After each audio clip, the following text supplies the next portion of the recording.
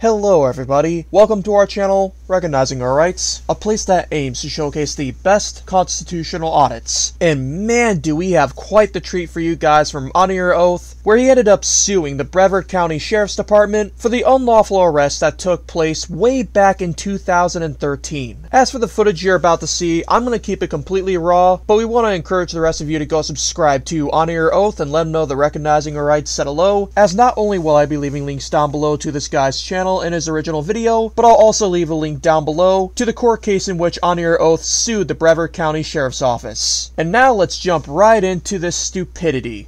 Do you have unlimited authority to make requests or demands on, on that day, on October 23rd, 2013? Did you have unbounded, unlimited authority to make requests and demands of Mr. Gray uh,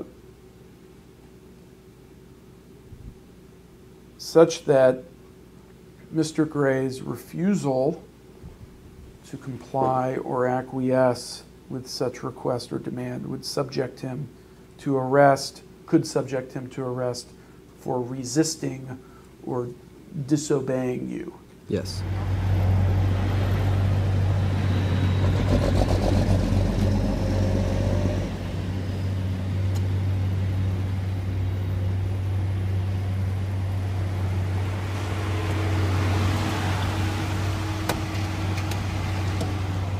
Going on? Good. Get ready. No, For what? Not being detained or anything? No, you're not being detained, but you, you've made yourself Good, how are part of this traffic stop. No, I'm observing the traffic stop. Who are you? Uh, I'm a journalist gathering content for a story. I'm sorry? Journalist gathering content for a story. For a story? What kind of story? Uh, just a story I'm working on. What's the name of your story? What, what company do you work for? Hold on a second. What's your name? Oh, I see. You're one of those kind of guys. Okay. Well, do me a favor. Stand over here in the shade, All right. but don't stand behind this deputy while he's conducting That's why I was standing more over there when you guys Well, pulled in. actually, you were, sir. So stand over there, like I asked you to, so you're not behind this deputy while he's conducting Okay, business. I'll stand over here. Thank you. Appreciate it.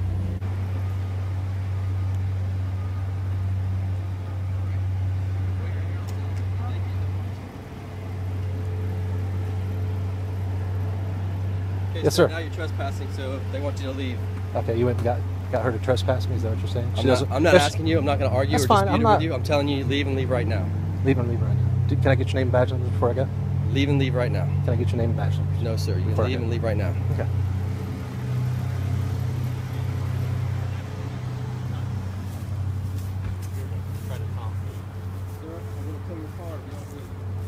I'll tell my wife to move it. I'll move over here on the public right away. All right, sir. That's it. I'm done telling you. You're under arrest. Back. Put them behind your back. Go back there. Don't resist me.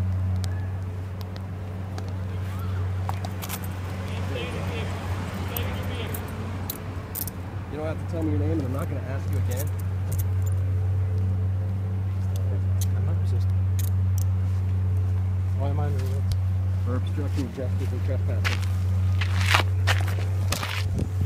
We told you to leave several times. You failed to do so. We told you to leave several times. I don't understand why you're being difficult, sir. I'm just documenting the traffic stop. You're not you're not related to media. You don't have a public relations card with a media. card. Actually, I do. I'm with photography It's not a crime. Yes, it is a crime. Spread your feet. I'm not going to ask you. Don't don't pull away from me. Don't resist me in any way. Resistance will be futile, and you will get hurt. I'm not going to resist. If you don't tell your wife to cooperate, you'll go to jail. Oh my God! Look what you did to my phone, man. I didn't do that to your phone, sir. You did that to your phone. Trying to stop. You hold him? I'm not. I'm not going to resist. I'm fine. I know you're not. You hold him for one second. Actually, I got it. They get a license. All right, sir. Watch your back. Okay. What's the best way to go in? Butt first, Butt first. Okay. you will be booked in as John Doe. And because you're not cooperating, you'll be booked in as John Doe, and you'll sit in jail for 48 hours until they determine who you are by your fingerprint. I'm not asking you again. I've already asked you once. You want to play that whole bullshit with me? Go right ahead and do it at the jail. You can kiss my ass. That's what you can do. How did he interfere with the traffic stop? Well, again, it's almost four years ago, so I'll go off my best of my recollection, but Please do. he did something to cause Deputy Cook to stop his investigation, or he interfered somehow to cause him to stop his traffic stop to call for a backup unit. Um, so, therefore, he, he interfered. That's an obstruction. And to the best of your knowledge, as you sit here today,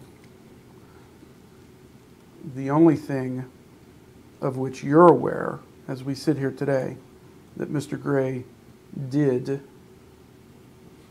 or omitted to do, uh, that prompted Deputy Cook to call for backup was photograph and/or video record Deputy Cook's traffic stop. Is that correct? Yes.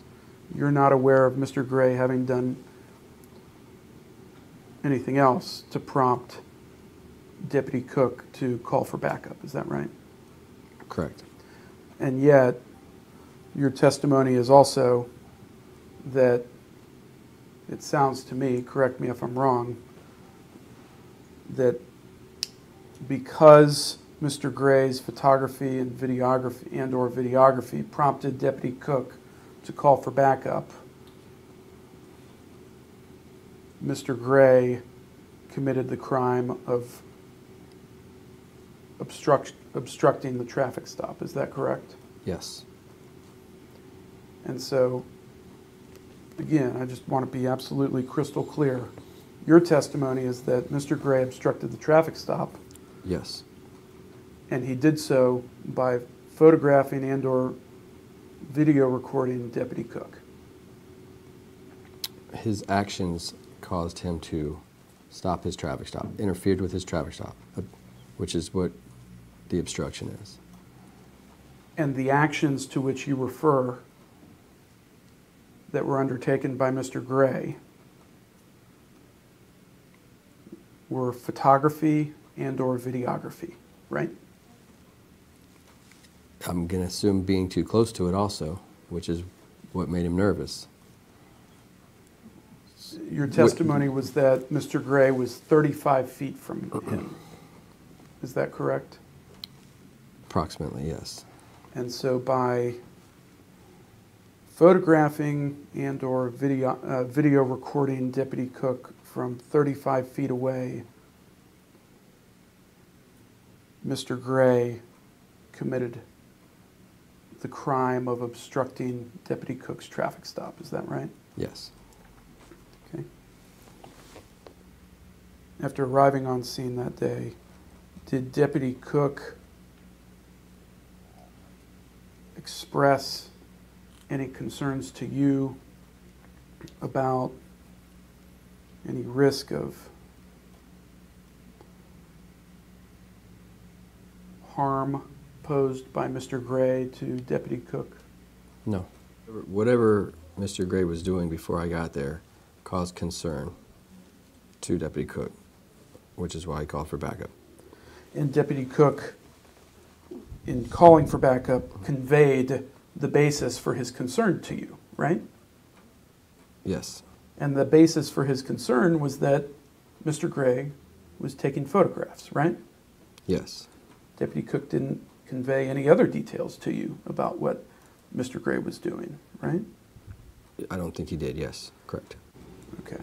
You asked Mr. Gray to move closer to the building. Yes. What happened next? Uh, I made contact with the director or manager of the building and asked her if she wanted him removed from the property. And what did she say? Yes. And what did you do then?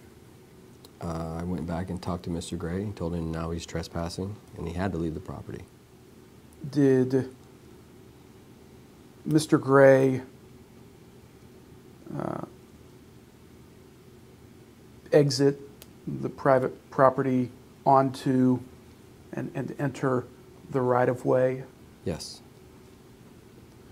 And did he do that prior to you arresting him? Yes. And then what happened? I arrested him. Um, on the right of way in front of this traffic stop.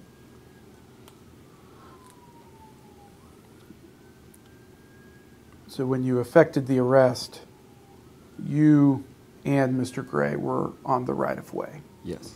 Is it your understanding that Mr. Gray committed a crime by leaving his van in the parking lot after you issued him a warning to leave? I believe it was part of the trespass crime, yes. So someone can be subject to arrest not only by refusing to leave after having been issued a trespass warning, but also by leaving property, personal property like a van, on someone else's property after having been issued a trespass warning. Is that your understanding of the law? No, I don't think just leaving personal property on someone else's property is a crime.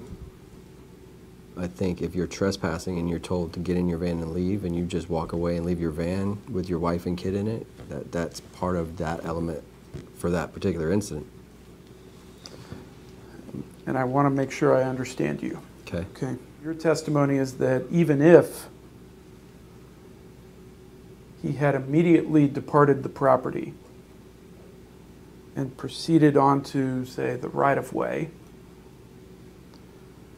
but left his van, still left his van in the parking lot, he could, he could have still been subject to arrest for trespassing after warning because of the fact that he left Not, his van in the parking lot. not just because he left the van in the parking lot.